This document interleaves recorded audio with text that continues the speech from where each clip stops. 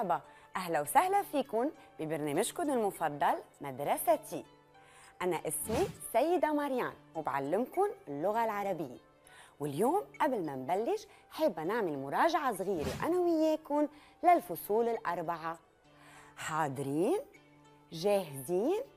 قولوا وراي فصل الخريف. فصل الخريف. فصل الشتاء. فصل الشتاء. فصل الربيع.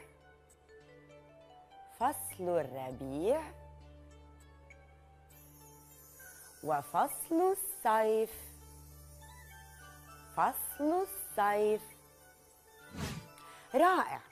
وهلأ بدنا نعمل أنا وياكم حزورة الألوان. رح نقول إنه أنا هو هيدا اللون. اسمعوا كتير منيح رح اعطيكم معلومات وأنتم لازم تحذروا اللون. أنا موجود في الحليب أنا موجود في الأسنان. رح أرجع عدلكم ركزوا كتير منيح. أنا موجود في الحليب أنا موجود في الأسنان. من أنا؟ صح اللون الأبيض. اللون الأبيض. وعملت لكم قارب من ورق لونه أبيض. شفتوا كتير منيح؟ قارب من ورق لونه أبيض. حبيتوا الحزورة؟ بدكم نعمل حزورة تاني؟ يلا حضروا حالكم وكونوا جاهزين. رح نرجع نقول إنه أنا هو هيدا اللون. أنا موجود في الباذنجان. أنا موجود في العنب. رح أرجع عيد. أنا موجود في الباذنجان. أنا موجود في العنب. من أنا؟ صح اللون البنفسجي. اللون البنفسجي. ومعي قلمين لون بنفسجي. شايفينهم هيدا مبين أكثر من هيدا. بس هيدا بس نلون فيه ببين على الورقة إنه لونه بنفسجي. وقبل ما نبلش فقرتنا الأولى بدي إياكم تكونوا حاضرين تنسمع سوا غنية حلوة كتير. بدنا نجرب نحفظها وتنغنيها مع مع بعض. وكل مرة رح نرجع نعيدها تنغنيها سوا. وأنا بلاقيكم بالفقرة التالية.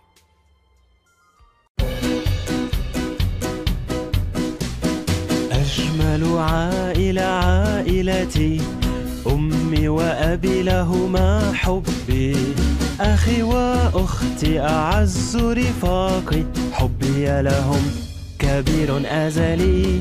أخي وأختي أعز رفاقي حبي لهم كبير أزلي. أجمل عائلة عائلتي أمي وأبي لهما حبي.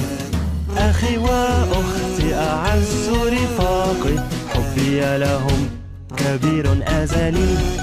أشكرك ربي وإلهي. أشكرك على محبة عائلتي. بهيدي الفقرة بدنا نعمل أنا وياكم تعبير شفهي. يعني إذا بدكم بدنا نتساير نحكي أنا وياكم عن شو بدنا نحكي؟ بدنا نحكي عن العائلة. ما مرادف كلمة عائلة؟ الأسرة. شوفوا على اللوح حطيت لكم هون صورة للعائلة لأسرة مؤلفة من أب أم وأولاد. وكل واحد منه منا عنده أكيد عائلة مؤلفة من عدة أفراد. طيب إذا نحن بهيدي العائلة إجا حدا سألنا سؤال كيف لازم نجاوب؟ لازم نعرف كل المعلومات عن أسرتنا وعائلتنا أول شي شو معقول حدا يسألنا إذا عم يتعرف علينا لأول مرة شو بيسألنا؟ بيسألنا ما اسمك؟ يعني شو اسمك؟ ما اسمك؟ يعني شو اسمك؟ شو منجاوب؟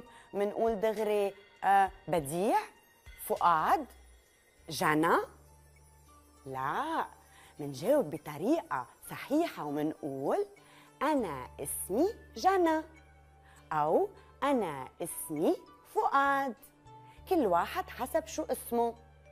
وتاني شغلة ممكن حدا يسألنا إياها بس يتعرف علينا هي. ما عمرك؟ كل واحد بيجاوب حسب هو قد إيه عمره. شو منقول؟ أنا عمري ست سنوات. أو أنا عمري سبع سنوات. كل واحد بيقول حسب قديش هو عمره. وكمان يلي بده يتعرف علينا بحب يتعرف على أفراد أسرتنا يعني على أفراد عائلتنا بيسألونا ما اسم أبيك؟ يعني شو اسمه بيك؟ منجاوب اسمه أبي فؤاد أو اسمه أبي داني كمان بيحبوا يعرفوا شو اسمها الماما وبيسألونا ما اسم أمك؟ منقول اسمه أمي سعاد أو اسمه أمي سلمى حسب كل واحد شو اسمها أمه. كمان بحب اللي بده يتعرف علينا يعرف عائلتنا الأسرة تبعيتنا مؤلفة من كم فرد. يعني شو عنا؟ إخوة وأخوات. بيسألونا كم أخا عندك عندك؟ يعني كم خي عندك؟ حسب أنا قديش عندي. إذا عندي خي واحد بقول عندي أخ واحد. إذا عندي خيين بقول عندي أخوان. وإذا عندي أكثر من خيين ثلاثة مثلا بقول عندي ثلاثة إخوة. وكمان عن الإخوة البنات بيسألوني كم أختا عندك؟ أنا بجاوب حسب قد إيه عندي؟ عندي أخت واحدة أو أختان أو ثلاث أخوات. أو أربع أخوات حسب أنا قد إيه عندي بالعيلة تبعيتي يعني بالأسرة أخيراً من كم شخص تتألف أسرتك؟ يعني من كم شخص الأسرة تبعيتي أو العيلة تتألف من كم فرد؟ بعدهم أمي أبي أنا أخي وأختي مثلا إذا عندي بس أخ وأخت بيطلعوا خمسة أشخاص. بعد أفراد عائلتي وبقول حسب قديه هن ستة أشخاص سبعة أشخاص حسب أنا عائلتي مؤلفة من كم فرد. اليوم أنا وياكم تعلمنا كيف نجاوب بطريقة صحيحة على أسئلة ممكن يسألنا إياها شخص عم يتعرف علينا لأول مرة. وهلأ بدي إياكم تحضروا ورقة وقلم وتنطروني لأنه بالفقرة التالية بدنا نتعلم شيء كتير مهم. وأنا بشوفكن بالفقرة التالية. حضرتوا ورقة وقلم وفيكم كمان تحضروا دفتر. هيك بتدونوا كل شيء عم نعمله وبضل بعدين معكم تتقدروا تعملوا له مراجعة. أنا وياكم هلأ بدنا نستخرج حرف جديد. رح أقرأ يلي كتبتن على اللوح. بدي اياكم تصغوا كتير منيح وتنتبهوا وتلاقوا شو هو الحرف يلي عم يتكرر تقريبا بكل الكلمات. حاضرين؟ يلا اسمعوا. ملعب لبيب كبير. رح أرجع عيد. ملعب لبيب كبير. منكمل برد بابا. بعيدة؟ برد بابا. عند بديع زبيب وعنب. رح أرجع عيدة. عند بديع زبيب وعنب شو؟ لقيتوا الحرف في حرف عم يتكرر تقريبا بكل الكلمات. شو هو؟ أي حرف؟ هو حرف الباء صح. هو حرف الباء اسمه حرف الباء وصوته ب. اسمه حرف الباء وصوته ب. تعرفوا كيف شكله حرف الباء؟ يلا وقفوا واعملوا معي. شكله هيك. شكله تقريبا مثل الصينية اللي بتعملنا الماما فيها أكل طيب. وفي عنده نقطة ما بننساها أبدا. شكله هيك وفي عنده نقطة ما بننساها يلا بدنا نكتبه سوا. حضروا حالكم واكتبوا معي. حرف الباء من النقطة بنزل بمشي برجع بطلع. وعنده نقطة ما بننساها أبدا. رح أرجع علمه يلا من النقطة بننزل بنمشي نرجع نطلع. كم شكل عنده حرف الباء؟ حرف الباء عنده أربع أشكال. صح كم شكل عنده؟ عنده أربع أشكال. يعني عنده شكل حرف منفرد. ما بيعطي إيده لحدا وما بيمسك حرف تاني. يلي كتبناه هلأ على اللوح. في عنده شكل تاني هو حرف الباء متصل من جهة واحدة. حرف الباء متصل من جهة واحدة. وهالمرة بيتصل من ميلة اليسار مش من ميلة اليمين. رح نكتبه. كسرنا. هيدا حرف الباء. متصل من جهة واحدة يعني بيمسك إيد حرف تاني من جهة اليسار. في عنده شكل ثالث هو حرف الباء متصل من جهتين. حرف الباء متصل من جهتين يعني عاطي إيده من الميلتين. تيمسك الأحرف. منبلش من الإيد منمشي منطلع. منرجع مننزل ومنمشي ومنحط له نقطة. ما مننسى النقطة أبدا. هيدا هو حرف الباء متصل من جهتين. بعد عنده شكل رابع وهو حرف الباء متصل بآخر الكلمة. وهون بيعطي إيده من جهة اليمين. بيكون هو بآخر الكلمة وبيعطي إيده من جهة اليمين. رح نكتبه. وهيدا حرف الباء متصل بآخر الكلمة. لكن منعيد حرف الباء له أربع أشكال. حرف الباء حرف منفرد منشوفه على اللوح. حرف الباء حرف منفرد. حرف الباء متصل من جهة واحدة. حرف الباء متصل من جهتين. وحرف الباء متصل بآخر الكلمة. دونتوه كتبتوه لأنه هلأ بدنا نكتبه مع الأصوات الطويلة والأصوات القصيرة. تتذكروها؟ خلينا نتذكرها سوا. عندنا الأصوات الطويلة آ أو و إي. تذكرتون؟ هلأ بدنا نكتبهم مع حرف الباء. تنشوف. بنكتب أي باء بنكتب المتصل من جهة واحدة. حرف الباء المتصل من جهة واحدة. تنعطيه نمسكه إيد الألف الآ با ب آ با شو بيصير عنا؟ با بيرجع ب أو ب أو بو وأخيرا ب إي بي. شو صار عندي؟ صار عندي حرف الباء مع الأصوات الطويلة. رح نرجع نقراهم سوا. حاضرين؟ يلا قولوا وراي. با بو بي.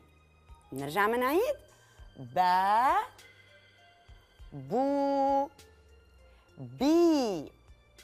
هلا في عنا الأصوات القصيرة يلي هن الفتحة أ الضمة أو الكسرة إي بدي أرجع أذكركم كمان في عنا السكون السكون يلي شكلها مثل الدائرة الصغيرة. وبس تقعد على الحرف هي بيسكت ما بيعود له صوت. يعني مثلا إذا حطيناه على حرف الب له سكون بتصير ب. بدكم نجرب نحط الأصوات القصيرة على حرف الباء ونقراهم سوا. يلا رح نحطهم على الحرف الباء يلي كتبناه بأشكاله الأربعة. شو رأيكم؟ يعني في عنا الب حرف منفرد. رح نحط له فتحة أ ونشوف شو بيصير. شو صار عنا؟ ب. عظيم! كمان بدنا نحط على الباء المط... الحرف المتصل من جهة واحدة ضمة يعني أو. شو بيصير؟ بو وهلأ على حرف الباء المتصل من جهتين رح نحط الكسرة يعني إي. شو بيصير عنا؟ بي وآخر شيء على حرف الباء المتصل بآخر الكلمة رح نحط له السكون. شو بيصير عنا؟ ب. شو رأيكم نرجع نعيدهم سوا؟ كتبتون؟ يلا هلأ بدنا نرجع نعيدهم أنا وياكم. ب. بو بي وب لكن اليوم أنا وياكم رجعنا عملنا مراجعة لحرف الباء مع الأصوات الطويلة ومع الأصوات القصيرة وبأشكاله الأربعة. حرف منفرد حرف متصل من جهة واحدة حرف متصل من جهتين وحرف متصل بآخر الكلمة. ما بدي تروحوا محل بعد عندي لإلكم لعبة حلوة كتير بدنا نلعبها أنا وياكم عن حرف الباء. وهلأ حضروا حالكم. خليكم نشيطين لأنه بالفقرة التالية رح نعمل شي كتير حلو. وأنا بشوفكم بالفقرة التالية.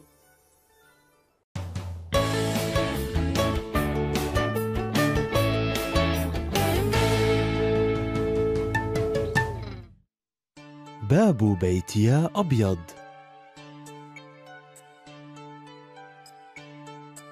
برميل كبير. بستان أخضر.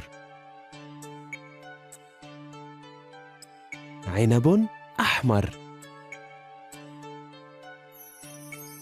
بنت جميلة.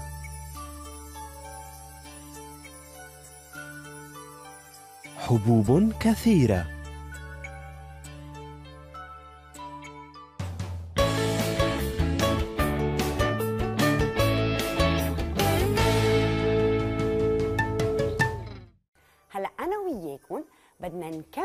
نشتغل على حرف الباء. بس هالمرة بدنا نعمل لعبة. قوموا وقفوا حضروا حالكم لأنه لعبتنا حلوة كتير. شو اسمها لعبتنا؟ أسمع لا أسمع. رح أقول أنا كلمات. إذا فيهم حرف الباء يعني إذا بسمع فيهم حرف الباء رح أعمل شكل حرف الباء. وإذا ما بسمع حرف الباء كتف إيدي زعلانة. ما في حرف الباء. شو رايكم عجبتكم اللعبة؟ حاضرين. وقفوا حضروا حالكم بنشاط حيوية. يلا أنا وياكم رح نبلش مع أول كلمة. اسمعوا كتير منيح. باب. باب. شو رايكم عم نسمع حرف الباء؟ طبعا. وبنعمل شكل حرف الباء. ما بننسى النقطة. كلمة تانية. مدرسة. مدرسة. عم نسمع شي حرف الباء. مدرسة ما في حرف الباء. منكتف إيدينا زعلانين. بعد كلمة يلا هلا بدنا نسرع شوي. شو رأيكم بكلمة دب؟ دب. شو؟ منكتف.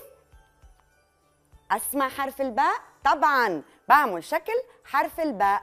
يلا بعد كلمة. بستان. بستان. بسمع حرف الباء؟ طبعا. بعمل شكل حرف الباء. يلا بعد كلمة. ممحات. ممحات. بسمع شي حرف الباء؟ كتف إيدي مثل الشطورة. يلا بعد كلمة. مسطرة مسطرة بسمع شي حرف الباء؟ لا كمان كتف إيدي زعلانة. وآخر كلمة هي حضروا حالكم. بيت. بيت. بسمع حرف الباء؟ نعم. وهيك بعمل شكل حرف الباء. عظيم. كنتوا اليوم ممتازين وأنا كتير كتير فرحانة. بدي منكم كل مرة قبل الحلقة تحضروا ورقة وقلم والأفضل تحضروا دفتر. هيك بضلوا عندكم مرتب.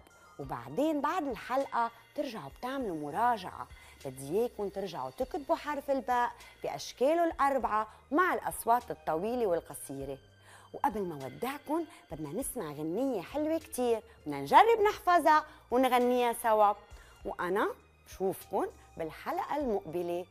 إلى اللقاء. فصول السنة أربعة أربعة. فصل الخريف أولا فصل الشتاء ثانيا فصل الربيع ثالثا ورابعا فصل الصيف. في فصل الخريف تسقط أوراق الشجر في فصل الشتاء يسقط المطر. في فصل الربيع تكثر الأزهار وفي فصل الصيف يأتي المرح واللعب. فصل الخريف أولا فصل الشتاء ثانيا فصل الربيع ثالثا ورابعا فصل الصيف. ورابعا فصل الصيف.